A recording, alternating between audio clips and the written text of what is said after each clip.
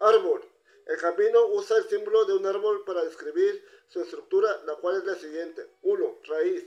La sede internacional, ubicada en New Genovese, Ohio. Víctor Paul Werwell como presidente y fundador, un vicepresidente y un secretario tesorero. 2. Tronco. Las diferentes regiones en que se divide la organización.